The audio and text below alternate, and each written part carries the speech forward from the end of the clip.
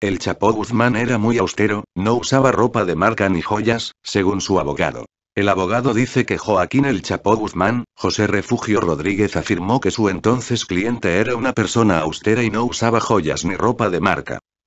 Además desmintió que las historias de lujos relatadas en el juicio que enfrenta en Nueva York, Joaquín El Chapo Guzmán lo era no usaba joyas ni ropa de marca, afirmó el abogado José Refugio Rodríguez, que lo describe como un hombre austero y alejado de la caracterización de un monstruo. En una entrevista publicada este domingo en la edición digital del diario La Tercera de Chile, Rodríguez aseguró que fue abogado de El Chapó por tres años y reitera que no es como lo pretenden mostrar. Entre los comentarios que realizó de Guzmán lo era, dijo que el Chapó era muy austero, no usaba ropa de marca ni joyas. Por lo que las historias de supuestos lujos que han sido relatadas en el juicio las calificó como falsas.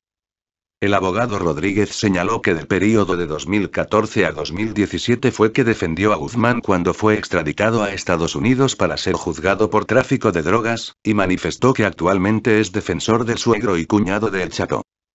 Los familiares políticos de El Chapo presuntamente estarían involucrados en las fugas del jefe del cartel de Sinaloa desde la cárcel en 2001 y 2015. El diario chileno registró los comentarios de Rodríguez que reitera que su entonces cliente llevaba una vida austera y negó que el Chapo tuviera un rancho con zoológico y tren privado. Al respecto aseguró que, nunca le conocí eso en una propiedad aquí en México y tampoco le escuché decir que tenía nada de eso. Voy mucho a Sinaloa y escucho a la gente hablar muy bien de Joaquín Guzmán. Comentan que llevaba una vida muy austera.